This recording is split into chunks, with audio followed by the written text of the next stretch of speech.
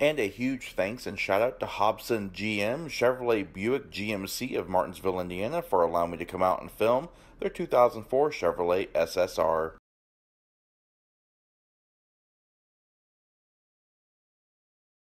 The early 2000s was an odd time. Retro styled vehicles highlighting heritage styling was in full swing with the VW New Beetle, Chrysler PT Cruiser, Chevrolet HHR, and the Ford Thunderbird, to name a few, were all available around in one form or another at the same time, give or take. The Chevrolet SSR or Super Sports Roadster was no exception.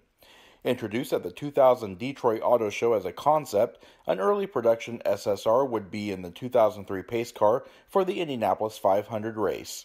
Only available in three model years, the SSR wasn't what one would call a success. In fact, it was actually a flop. The SSR, set on the GM 368 variant of the GMT 360 platform, with panels formed via deep draw stampings, and was produced at the Lansing Craft Center in Lansing, Michigan.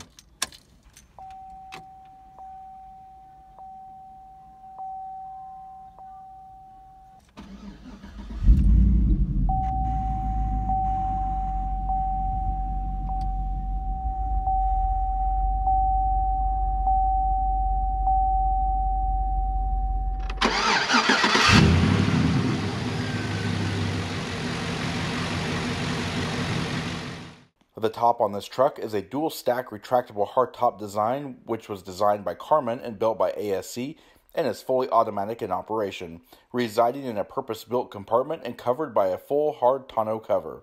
The entire operation takes approximately 25 seconds.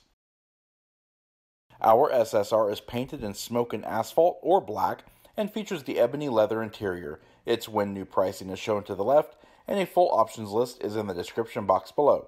The SSR's radical design, despite its highly unique convertible pickup roadster styling, takes obvious styling cues from the 1940s advanced design Chevrolet pickup trucks, mostly from the late 40s and the mid 50s design, albeit much more modern in aerodynamic and form and function.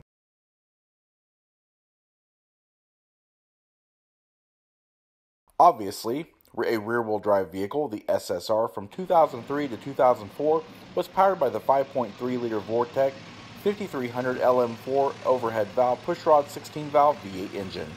This engine is of aluminum block and head construction with sequential fuel injection and a 9.5 to 1 compression ratio. It creates 300 horsepower at 5,200 RPM, 331 pound-feet of torque at 4,000 RPM. It can accelerate from 0 to 60 miles per hour in 7.7 seconds, with 0 to 100 miles per hour reached in 20.5 seconds. The quarter mile was trapped in 15.9 seconds at 86.4 miles per hour. Its top speed is limited to 125 miles per hour.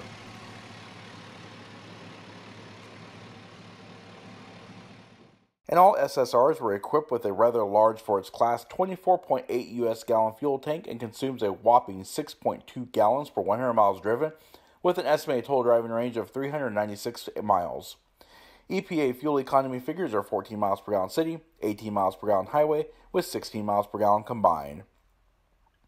While the 2005 and 2006 models will be available with either an automatic or manual transmission, our 2004 SSR is equipped with the sole available 4 speed Turbo Hydra-Matic 4L60E automatic transmission.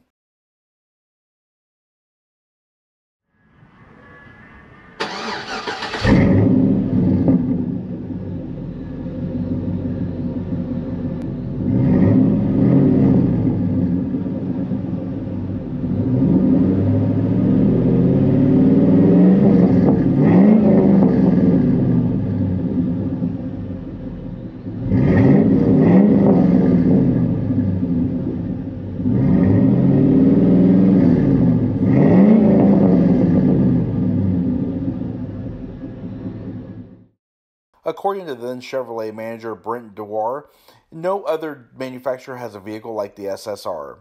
We've combined the heritage of the 1947 to 1953 advanced design pickups with the latest in product and manufacturing technology to enhance the Chevrolet brand.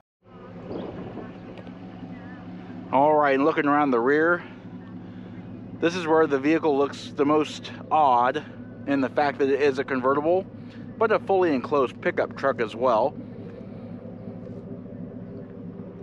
Again, The highlighting feature is really those pronounced fender flares front and rear. You've also got a large flat tonneau cover with a spoiler. Heritage themed clear lens round red tail lamp lenses that integrate brake lights, tail lamps, and turn indicators. Course, you also have that really nice sounding dual exhaust. It is a Flowmaster exhaust. License plate frame here with your license or your reverse lamps down here. And you got your bow, bow tie logo and your SSR badging.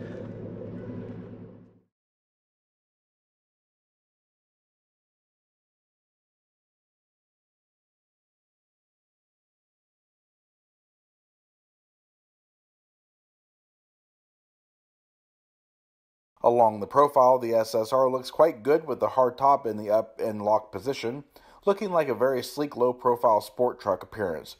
Top down, it's very dramatic with its sleek unified look to the profile. With no top stack separating the cab from the bed, the SSR looks quite amazing in my opinion. The SSR does sit on a 116 inch wheelbase with an overall length of 191.4 inches. Steering on the SSR is hydraulically assisted vehicle speed sensitive variable rate rack and pinion with 3.05 turns lock to lock and a 38.1 foot turning radius. Wheels are staggered size, ultra silver finish, polished 5 spoke aluminum with the fronts measuring 19 by 8 inches and rears measuring 20 by 10 inches. Tires are Goodyear Eagle GSAs with fronts measuring 255 45 R19 and the rears coming in at P295 40 R20. Brakes are obviously high performance power assisted four wheel disc brakes with 12 inch vented rotors up front, 12.8 vented rotors in the rear, and are assisted by ABS and all speed traction control.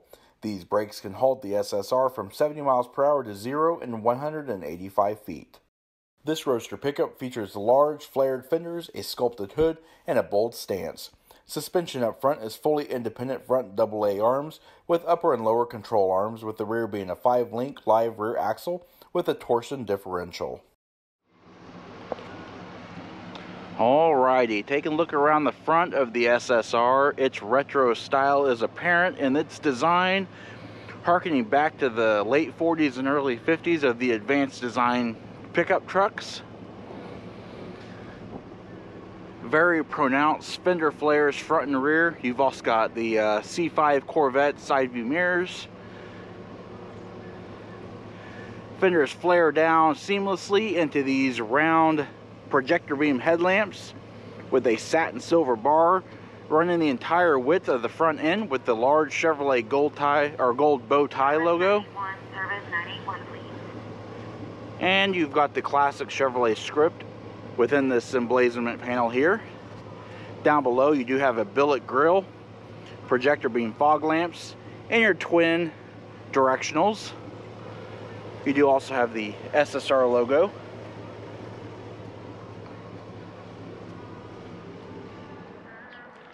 Alright, now this being a 2004, this vehicle is not actually equipped with a smart key access system. It is, however, equipped with keyless remote entry. Quick look at the key fob as a traditional GM key fob here. Lock, unlock, panic alarm, and your trunk release. And oddly enough, it does have a pictogram of an SSR with the top up and the uh, tonneau cover open. I like that.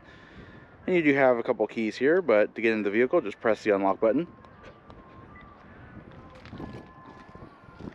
Nice flat door handle here. Solid doors. Inside is actually very sports car theme with the dual cowl instrument panel. Very supportive sport bucket seats. Lots of satin aluminum trim and gloss black to match the body. Taking a look at the door panels here, as I was stating, the gloss black body color here spilling over into the inside. It does match up very nicely with the satin aluminum trim here. That molds into your door pole. You've also got the premium Bose sound system, power mirror controls here on the door, vinyl trim, whereas everything else is a hard plastic. Safety reflector, a little bit of storage in the doors, this vehicle does have aftermarket SSR emblazoned tread plates. They're polished stainless steel. Taking a quick look at the seat controls here. Have heated high and low. You also have your adjustable seats here. It is a six-way fore and aft adjust.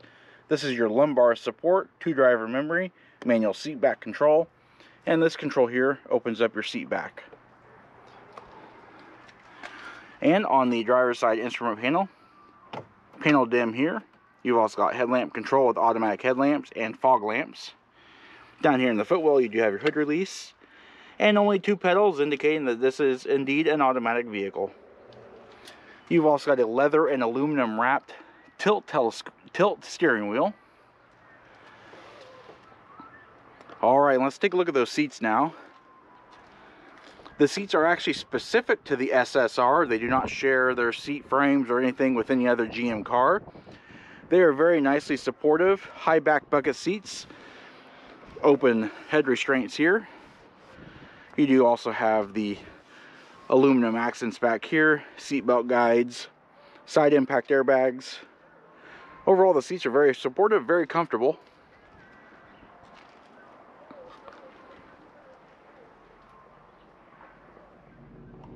All we're gonna pan through the interior. We're gonna show more details here. As you can see, very tight hydraulically assisted power steering, leather wrapped steering wheel. You've also got the aluminum trim on the upper spokes here. They actually match up quite nicely with the rest of the dashboard if it's lined up right. But anyway, solid aluminum trim down here, airbag cover in the center. Over here, we do have our trip computer controls, fuel mileage controls, vehicle system status controls, and our reset button here. Over here on the right hand side we have our seek and scan buttons here and our volume up and down. Alright, over here we do have just a typical GM multifunction stalk. Cruise control, turn it on here, set that button there to set, and then this is your accelerate here. Wiper controls, you've also got your signal controls as well, high beam controls. Alright, and looking straight forward, we have a nice set of Heritage potted gauges that are re deeply recessed within their bezels and they do have a clear lens over them that does cause quite a reflection indeed. 7000 rpm tach 140 mile per hour primary speedometer. You do have a digital readout for the Prindle and you've also got a dot matrix LED display here for your trip computer and odometer Taking a look over on the rightmost pod where the SSR logo is, you do have a fuel gauge, coolant temperature, and oil pressure. MotorWeek would approve. Alright, moving across the top of the dash. More hard plastic abound, but it does have a really nice wraparound body color trim that goes the entire width and meets into the doors. That's a nice touch. Alright, moving down the center console. Very small heating and ventilation vents here but they are effective. Pretty standard GM AM FM CD radio here. Moving down, within the aluminum housing, you do have your climate control vents, where your control knobs are actually housed in poly or brushed aluminum. Temperature control with air conditioning control, fan speed and recirculate. Over here is your panel distribution with your electric rear window defogger. All right, more stuff to look at. Here we have a nice felt lined, recessed, and retractable tray. Over on the passenger side is a handy little pop-up cup holder. Hidden here is actually the ashtray with a cigar lighter. Here on the driver's side footwell here, above the uh, battery gauge is a 12 volt power point. And on the passenger side in the footwell, right above the temperature gauge, is another 12 volt power point. All right, moving across the center dash, more aluminum abounds. Very nice here. I got a really nice um, cue ball type shifter with the push button here for the transmission lever. There is no Prindle marked on here. It's all very smooth. And you've also got your power window controls, traction control, power lock, and your roof switch. Let's get this gear lever out of the way. All right, down there on the floorboard, you have your performance gauges. On the leftmost is your battery volts. On the middle, it's marked GPH, and I believe that's gallons per hour used. I don't really know. And on the far right is your transmission temperature gauge. And as you can see, it is reflecting in that piano black trim. And over here on the driver's side footwell, you have another cup holder. Right, moving down the center of the car, the piano black trim continues. You do have a nice padded center armrest. There is a button on the side that opens up and it reveals a nice amount of storage inside. It is also important to note that this can actually lock. Corvette style waterfall with the SSR logo. Overall, the interior of this vehicle is actually really cool. It's it's very well designed, very heritage themed, but everything falls at hand, very ergonomic. All right, now we have an overhead automatic dimming rearview mirror with three channel HomeLink universal garage door opener and a map light. It is powered underneath the, there's just an LED. All right, and sun visors. Sun visors are padded vinyl with illuminated vanity mirrors. And the sun visors do swing out, however, they do not slide.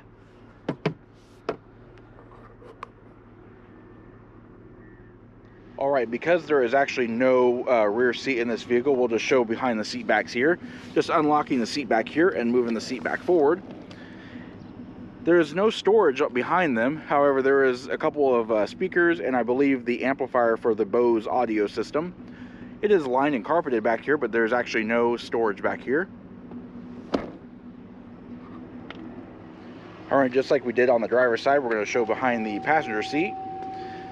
Real quick look at its controls. Heated seats, of course, and you also have the same, this is just two-way adjustable. It doesn't uh, adjust for up and down. Again, power lumbar support. You also got your uh, seat back control, and this unlocks the seat back itself. Looks like you have a tether anchor for child seat, another speaker for the Bose audio system, and that is your fuse access panel.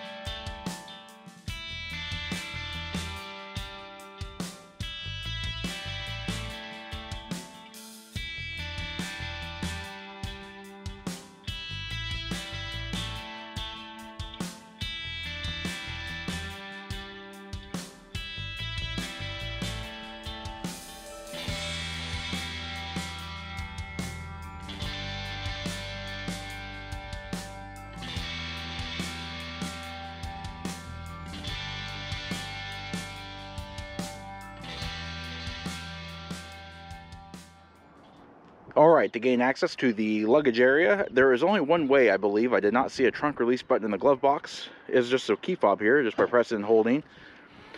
It opens up the tonneau cover.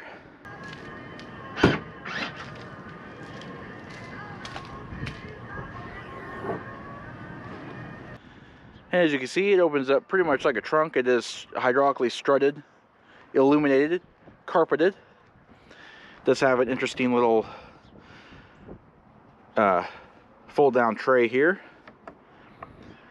SSR embroidery. It is fully carpeted in here, just as I said. You do have these really nice looking, uh, they're plastic, but they do look like wood. Reminiscent of the wood-lined beds of yesterday.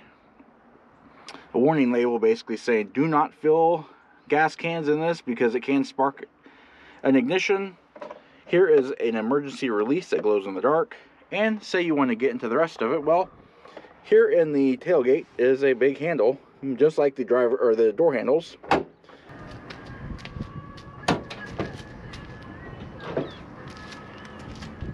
All right now we got a tailgate. How about that? Carpeted.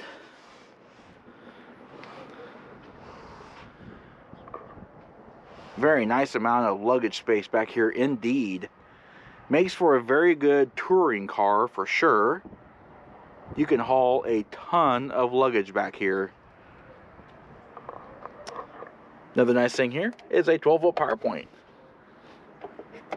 You've also got adjustable cleats in the bed rails for a um, storage net. All right, and closing it, first you have to close the tonneau cover, and then you close the tailgate. All right, and that does conclude our in-depth walk-around look at the 2004 Chevrolet SSR. If you like this video and would like to see more like it, please comment down below. Also, don't forget to hit the like button and subscribe, and check out our Facebook page at facebook.com slash neighborhoodcarreviews, and our Instagram channel at BrensoJ1. And of course, as always, thanks for watching.